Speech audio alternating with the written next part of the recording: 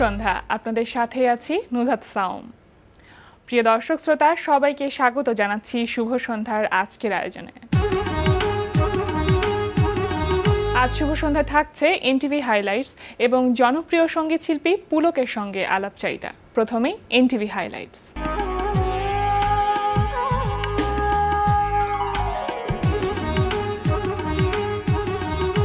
জানিয়ে দিচ্ছি কি কি থাকছে এনটিভি অনুষ্ঠানমালার রাতের আয়োজনে। সন্ধ্যা ছয়টা পঁয়তাল্লিশ মিনিটে থাকছে গৌতম মণ্ডলের প্রযোজনায় তথ্য ও প্রযুক্তি ভিত্তিক অনুষ্ঠান সাইটেক ওয়াচ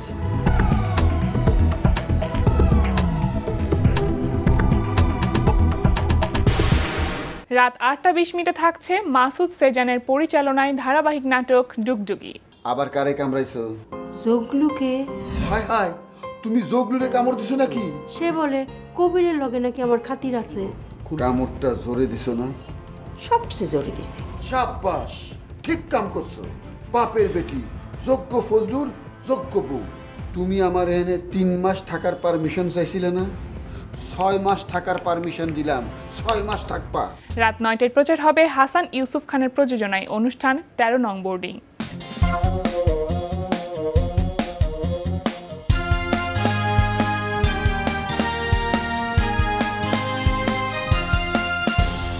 রাত নয়টা চল্লিশ মিনিটে থাকছে ধারাবাহিক নাটক ভালোবাসা কারে কয় বিষয়টা নিয়ে আমি প্রডিউসারের সাথে কথা বলে ফেলেছি ডিরেক্টরের সাথে কথা বলেছি ডিরেক্টর স্ক্রিপ্ট রেডি করছে। আর এখন যদি আপনি কাজটা না করেন আমি আমার জায়গা থেকে কতটুকু ছোট হব আপনি বুঝতে পারছেন? না আমি কাজটা না করলে আপনি ছোট হবেন না। আপনি ছোট হবেন আমি কাজটা করলে তাহলে আপনি কাজটা করবেন না। না। ঠিক আছে চলে যান আপনি। দরজাটা ওদিকে। একবারও পিছনে ফিরে তাকাবেন না। পিছনে যা কিছুই ঘটুক, আপনি খবরদার মুখ ফিরে পেছনে তাকাবেন না। যান বেরো যান। রাত সাড়ে এগারোটা থাকছে ট্রাভেল শো অ্যাডভেঞ্চার ম্যান।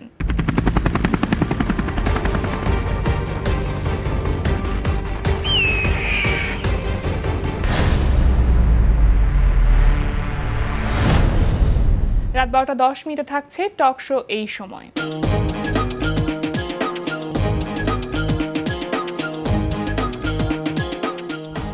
এই ছিল এনটিভি অনুষ্ঠানমালার হাইলাইটস এরপর আসছি আলাপচারিতায়।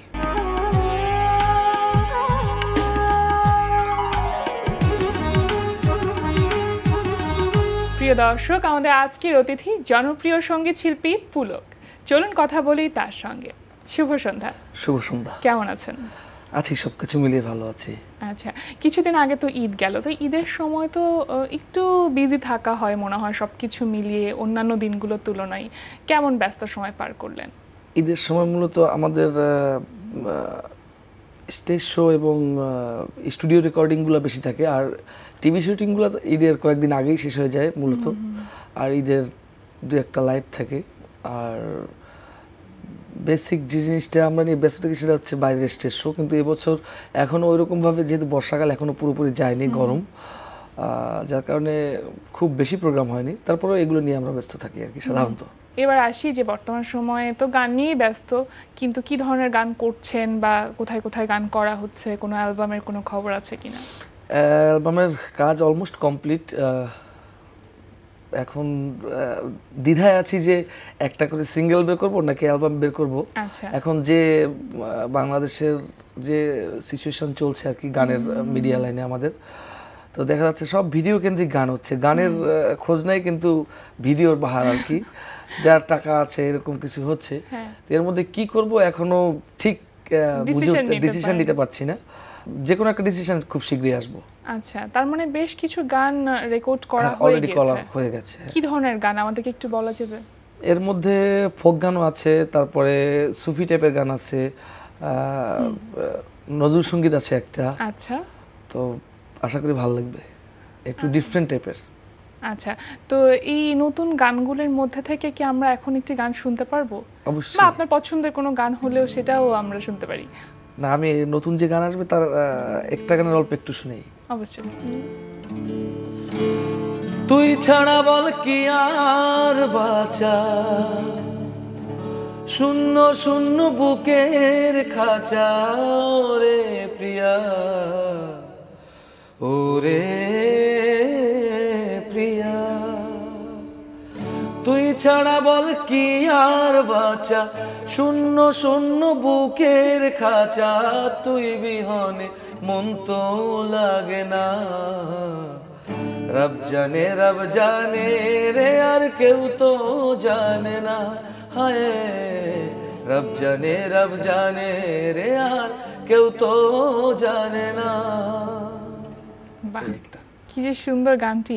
তো এই গানগুলি কার লেখা যে গানগুলি মাত্র এই গানটা হচ্ছে? তারিক তুহিন ভাই নামে আমার একটা বড় ভাই ওনার বাংলাদেশের জনপ্রিয় বিখ্যাত কথা শুরু ওনারই এখন পর্যন্ত তো বললেন যে সিদ্ধান্ত নেননি যে কীভাবে এটা হ্যাঁ প্রকাশ করবেন। মানে সিঙ্গেল ইভের করব হ্যাঁ, নাকি হ্যাঁ। অ্যালবাম আকারে? আকারে। এইটা এখনও মানে ইন্ডিসিশনে ভুগতেছি আমি। আচ্ছা তো গানগুলির এই যে কাজ শুরু হয়েছিল কবে থেকে? বলতে গেলে আরও তিন চার বছর হয়ে গেছে আমার এই কাজগুলো। মানে আমি আমার ফার্স্ট অ্যালবাম বের হয় হচ্ছে এগারো সালে মাঝামাঝি। তারপর অনেকগুলো মিক্স অ্যালবামে কাজ করছি কিন্তু তারপর ওই বারো সাল থেকে মূলত আমার কাজ শুরু এবং এই পর্যন্ত চলছে এখনও। সেই ক্লোজ আপ ওয়ান দিয়ে শুরু হয়ে এখন পর্যন্ত একটু একটু করে ধাপে ধাপে এগিয়ে যাওয়া। জার্নিটা নেহাতি কম না কিন্তু সেই ক্লোজ আপ ওয়ানের সময়গুলো কি মিস করেন? কেমন লাগে এখন যদি ওই সময়গুলোর কথা চিন্তা করেন? অবশ্যই মানে সব সময় এবং থ্যাঙ্কস দিতে চাই ইউনিলিভার এবং এনটিভিকে যারা যাদের মাধ্যমে আমরা একটা প্ল্যাটফর্মের মাধ্যমে এখানে এসেছি।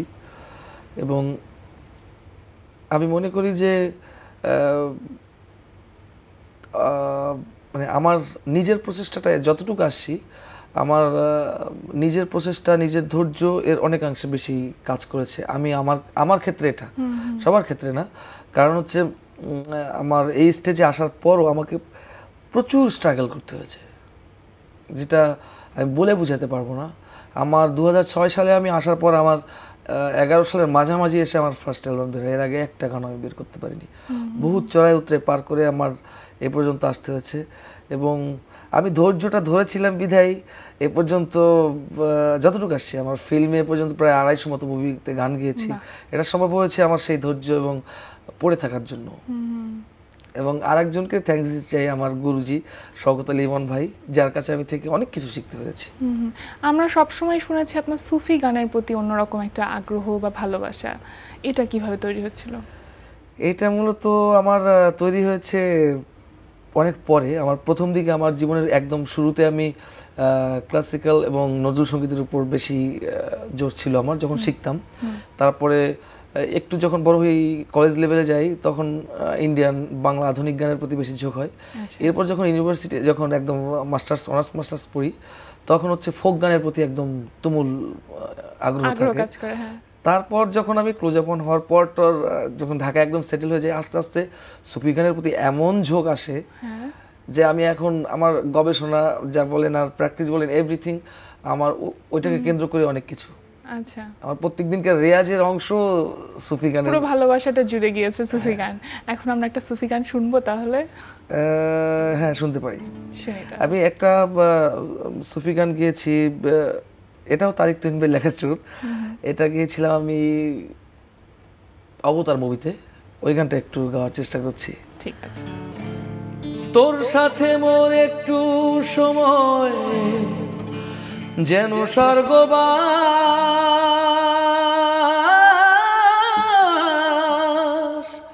ছোঁয়াতে তোর মন খুঁজে পায় সুখের পূর্বাভাস। প্রিয়া, তোর লাগিয়া কত নিশি রাত জাগিয়া, লিখি প্রেম গীত রে। সাধনা, তুই আরাধনা, প্রেমিক দেহের রুহু খানা আসমানি পিরিত রে, আসমানি পিরিত রে, আসমানি পিরিত রে, আসমানি পিরিত রে, আসমানি পিরিত রে। এরকম আর কি গানটা। এখন পুরোপুরি হচ্ছে না সুন্দর করে। আচ্ছা এই যে মুভির কথা বলছিলেন এই গানটিও তো একটি মুভিতে হ্যাঁ, ব্যবহার করা হয়েছে। তো মুভির গান গাওয়ার ব্যাপারটা তো একদম অন্যরকম থাকে। সেই আর্টিস্টদের এক্সপ্রেশন বা সেই গান অনুযায়ী আপনার নিজের গলাকে তৈরি করতে হয়। এই সুফি গানগুলোর ধরন প্রায় একই রকম। সবসময় আচ্ছা। আবেগ এবং আর্তনাদ এই জিনিসটা থাকে এই ধরনের গানে।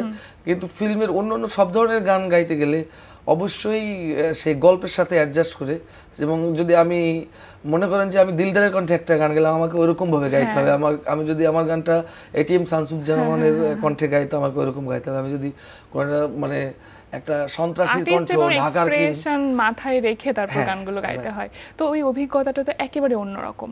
ওটা কতটা চ্যালেঞ্জিং বলে মনে হয়? এটা চ্যালেঞ্জিং কতখানি এটা আপনি দেখলে বুঝবেন। বাংলাদেশের এই সংগীত অঙ্গনে শিল্পী আছে মিনিমাম পাঁচ হাজার। কিন্তু ফিল্মে গান গায় অনলি হয়তো বা দশ থেকে পনেরো বিশ জন। তাহলে এখান থেকে আপনি একটা আইডিয়া নিতে পারবেন কতখানি কঠিন বিষয়। আচ্ছা এই চ্যালেঞ্জটাকে কতটা উপভোগ করেন আপনি? আমি খুবই উপভোগ করি।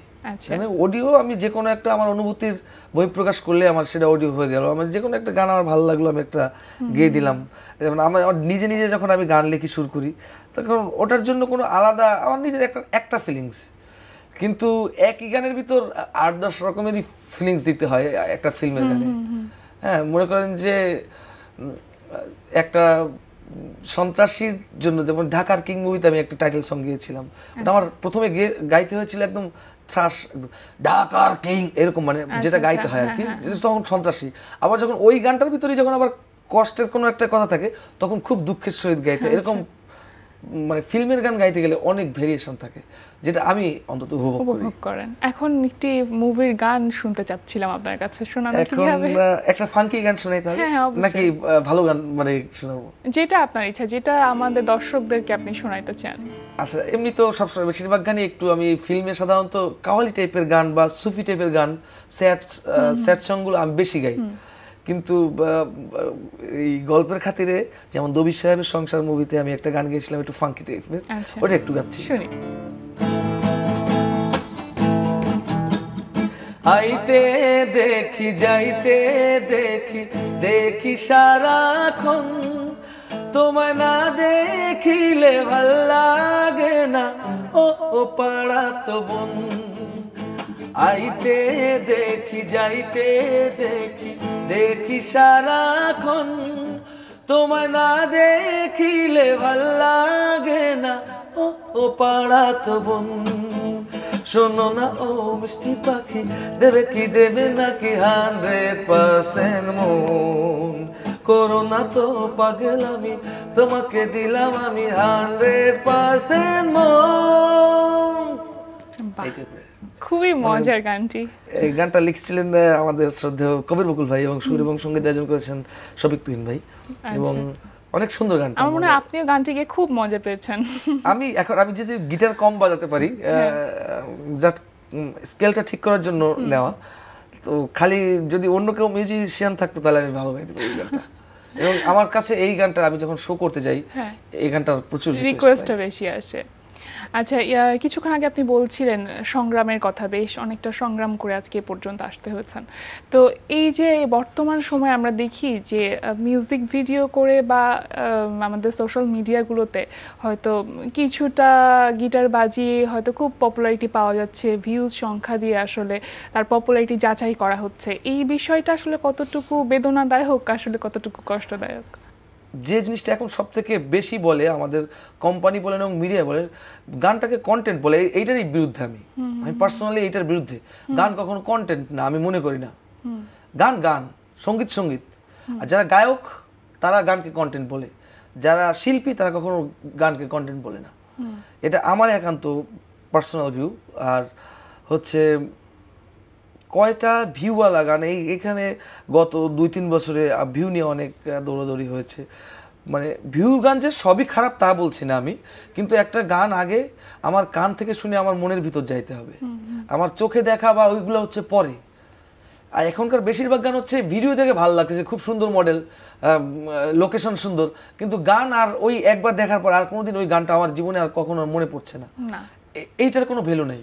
আমার যদি গানটা মনের মধ্যে থেকে যায় তারপর যদি আমার ভিডিওটা ভালো লাগে আমার মনে হয় ওইটা বেশি গুরুত্বপূর্ণ। বিষয় কিন্তু এখানে খুব গুরুত্বপূর্ণ সেটা হচ্ছে যারা নন সিঙ্গার তারাও পপুলারিটি পাচ্ছে সিঙ্গারদের থেকে হয়তো অনেকটা বেশি। সে বিষয়ে কি বলবেন? আমি এটাকে নন সিঙ্গার হোক আর সে মনে করেন সিঙ্গার হোক গা- জিনিসটার যে যেটা সে গিয়েছে সেইটা কোয়ালিটি ফুল কিনা এবং সেইটার ভিতরে স্পেশাল কিছু আসলেই আছে কিনা যেটা আমার হৃদয় ছুঁয়ে যায় অথবা ভালো লাগে মানে ভালো লাগে খুব। সে যে সবসময় যে একজন আমার আমি ছোটোবেলা থেকে প্র্যাকটিস করে আসছি শিখে আসছি। আমি যে শুধু ভালো গাবো তা না একজন গড গিফটেড নর্মাল রাস্তার সিঙ্গার সেও ভালো গাইতে পারে। কিন্তু তার সেই জিনিসটা আসলে কোয়ালিটিফুল কিনা নাকি ওটা ভাইরাল হয় আর কি? একদম ননসেন্স টাইপের কিছু ভাইরাল হয়।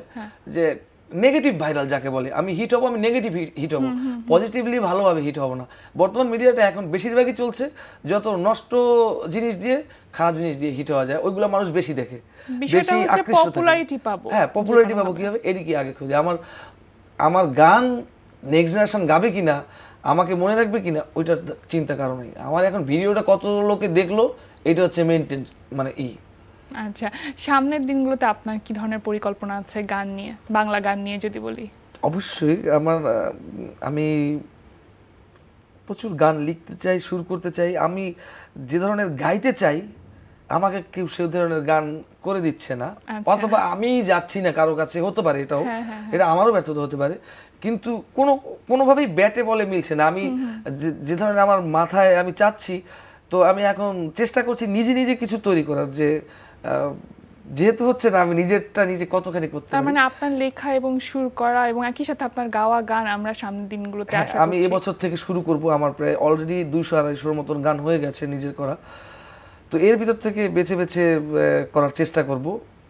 আশা করি ভালো লাগবে। এ পর্যন্ত যাদের শুনিয়েছি সবাই বলেছে যে সব সময় ভালো লেগেছে সামনের দিনগুলোতে ভালো লাগবে। সব থেকে বড় বিষয় এনটিভি পরিবারের একজন মানুষ আপনারা। অবশ্যই। আপনাদের সাথে কথা বলতে আপনারা আসলে মনে হয় যে পরিবারের মানুষগুলোর সাথেই কথা বলছি। খুব ভালো থাকবেন অনেক অনেক ধন্যবাদ। আপনাকেও ধন্যবাদ এবং স্পেশাল ধন্যবাদ হচ্ছে এনটিভিকে আমাকে এত সুন্দর একটা প্রোগ্রামে আমন্ত্রণ করার জন্য। প্রিয় দর্শক, আলাপে আলাপে আমরাও চলে এসেছি অনুষ্ঠানের শেষ প্রান্তে। আমাদের সঙ্গে যোগাযোগের ঠিকানা, প্রযোজক শুভ সন্ধ্যা, এনটিভি বিএসসি ভবন, সপ্তমতলা, একশো দুই কাজী নজরুল ইসলাম অ্যাভিনিউ, কারণ বাজার, ঢাকা এক দুই এক পাঁচ। আমাদের ইমেল অ্যাড্রেস শুভ সন্ধ্যা অ্যাট এনটিভিবিডি ডট কম প্রিয় দর্শক এনটিভিতে সম্প্রচারিত সংবাদ, অন্যান্য সকল অনুষ্ঠান দেখতে লগ ইন করুন W W W dot NTVBD dot কমে সবাই ভালো থাকুন, নিরাপদে থাকুন। শুভ সন্ধ্যা।